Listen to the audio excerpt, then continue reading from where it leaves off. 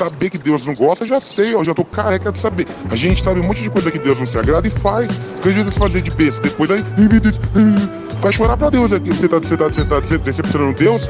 Chora pra Deus. Fala, Deus, me perdoa então, porque eu não tenho força, eu não consigo me controlar. Me dá um jeito, me dá um meio de controlar isso, me dá uma, uma abertura pra eu sair disso. Agora, a intelectualização, ah, eu quero saber mais, me explica o que, que é isso aí. Não vai saber, não tem que saber muito. Eles querem saber demais, isso faz criança, cara. Tem vários cavalos velhos, homens velhos, adultos, fortes, chorando. Na Bíblia aparece um monte de cara que é guerreiro, que é sangue no zóio, que lá é aqui, ó, gigante, caralho, aqui joga uma pedra na cara do gigante, corta a cabeça dos outros. Então, sou muito nervoso, cara. Eu acho que o brasileiro é um pouco paspalho, um pouco parado, um pouco mole, um pouco frouxo, gente fica chorando. Olha lá o que os comunistas fizeram, olha lá o que eles fizeram, olha só. Todo dia essa reatividade de vocês, cara, de ficar falando da esquerda, da esquerda, da esquerda, da esquerda, da esquerda, da esquerda. Foda-se a esquerda. Se vocês agissem, se vocês tivessem um grande uma grande ação mobilizadora, vocês teriam enterrado essa bosta dessa esquerda. Vocês pensam assim, ai meu Deus, olha os Soros, olha o que, que o Soros está fazendo com as nossas meninas, com as adolescentes, olha, está destruindo a família. Se o Soros está tomando muito é porque eu parei de agir. Jesus falou, seja o sal da terra.